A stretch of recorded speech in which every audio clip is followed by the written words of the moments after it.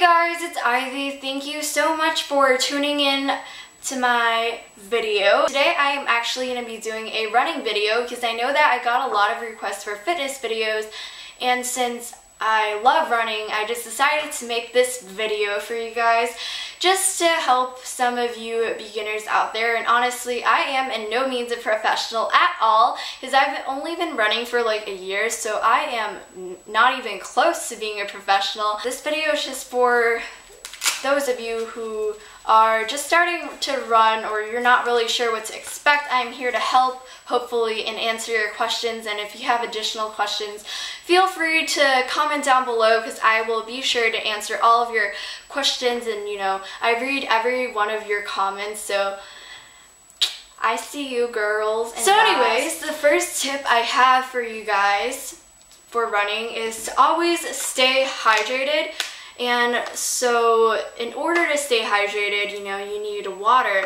It's honestly a really important part of exercising to keep water or just to stay hydrated because if you're not hydrated and you're dehydrated, it makes you have all types of bad symptoms like it makes you feel dizzy and you know you feel more hungry and you know your waist doesn't go out on the other end as well without water.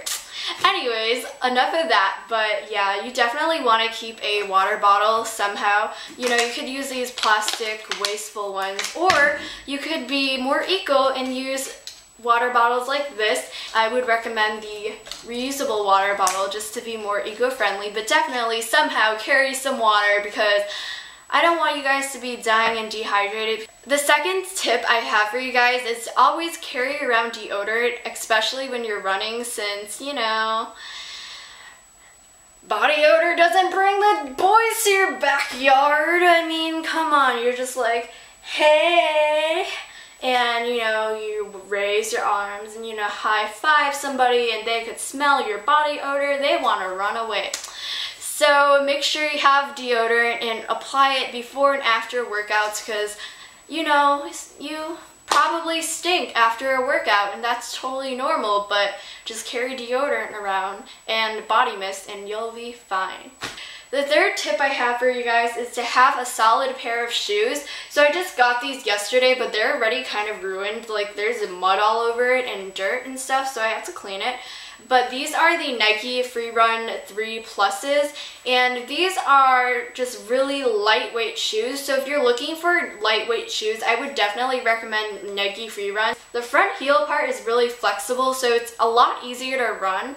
And I mean I'm not saying you should run on your toes but it's really easy to run if you are a front heel striker. But for me I'm a heel breaker so you know I run kind of like on my back heel, which isn't the best, but these shoes actually really work well for me and these are super lightweight and I didn't wear any socks with these shoes and they felt great. They're so comfortable to walk slash run in and these are just perfect for everyday wear even because these are so comfortable and I recommend if you get the Nike Free Runs just wear it with thin socks. So if you wear like heavier socks then your shoes wouldn't feel as lightweight. So wear thin socks and these work better. The shoes that I've been running with for pretty much the whole year are these Mizuno Wave Riders and these are the Mizuno Wave Rider 14s and Mizuno's are definitely an awesome brand of shoes you could check out and you should check out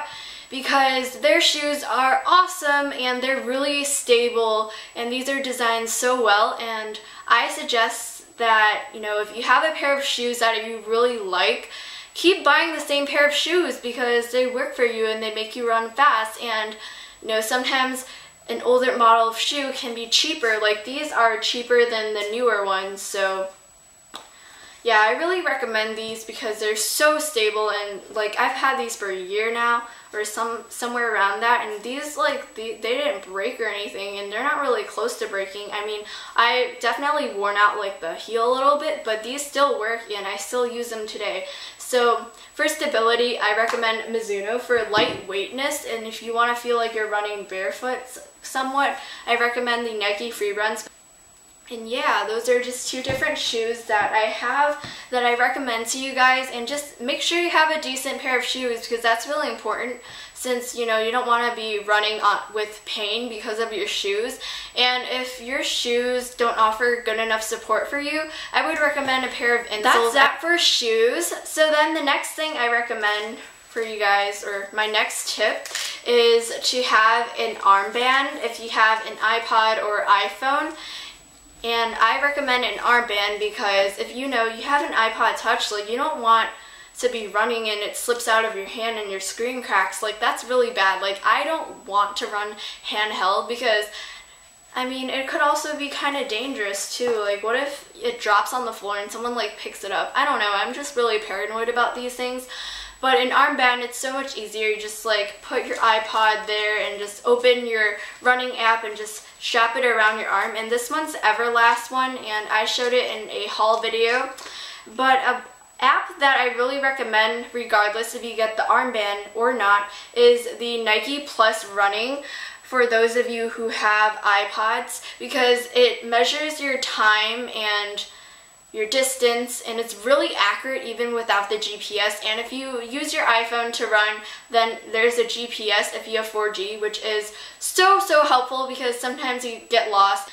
The next tip I have for you guys is more of a what to expect tip. When I went into cross country I thought that it was gonna be an easy sport but I thought wrong because uh, workouts can be really hard and some of the workouts can make you want to cry and it's totally normal to want to cry and want to quit and want to never run again in your life. Because I know I feel like that a lot especially when I'm like frustrated with all this running and so it's just a lot. And so I really just say that you know expect running to be pretty hard but you will overcome it. Like girl you got the strength to do this or a guy if you're watching this but yeah, I mean, it's not easy. It's not built to be an easy sport. Running isn't easy at all. So that's something that a lot of people overlook. Like, a lot of people think that running would be really easy since everybody knows how to run pretty much. I mean, it's not like a skillful sport, like a skillful sport, but it requires a lot of like mentalness and finally, my last tip for you guys, which is one of the most helpful tips, I believe, at least for me, is when you're running a race, especially a race, don't ever stop to walk or just don't even stop.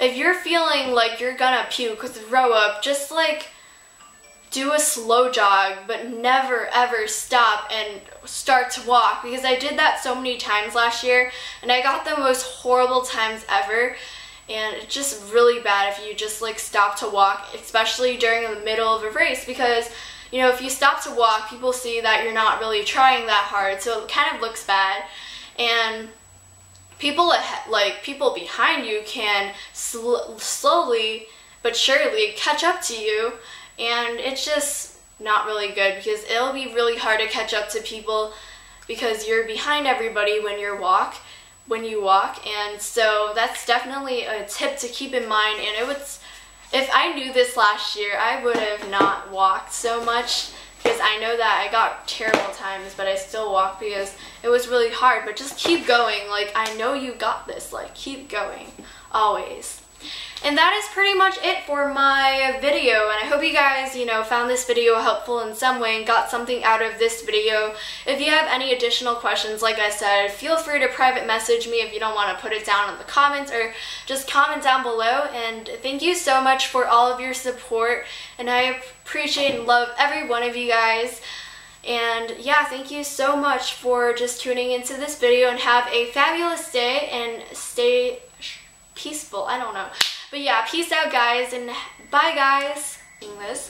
Anyways, today, as you could tell, I look a little different. Oh, I'm like boob touch.